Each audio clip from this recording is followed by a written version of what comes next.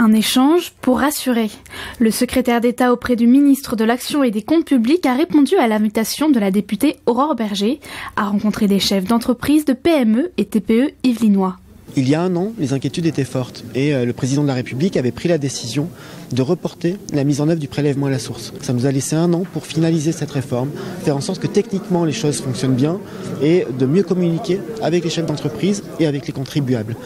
Je pense que c'est très important euh, de pouvoir avoir des échanges concrets sur les lois qui ont été votées et qui sont en application pour voir concrètement comment elles sont mises en œuvre. Les chefs d'entreprise présents saluent l'initiative, la réforme est bien acceptée et ils ont eu le temps de communiquer avec leurs salariés. Ils ont cependant pu aborder certains points de complication. Pour les petites, euh, euh, toutes les, petites entreprises, donc les TPE par exemple, il y a un coût. Bon, un coût pour le dirigeant qui doit s'impliquer énormément, recevoir ses salariés, les rassurer, mais un coût aussi parce qu'il y a un surcoût pour les, les fiches de paye que les cabinet d'expertise comptable facture.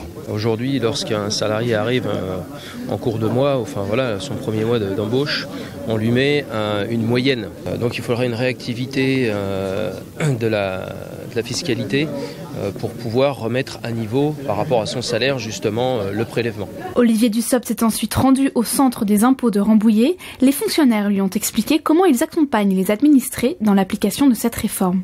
Alors là, on est sur le cas, le changement a été fait, mais je vous, je vous explique un peu le...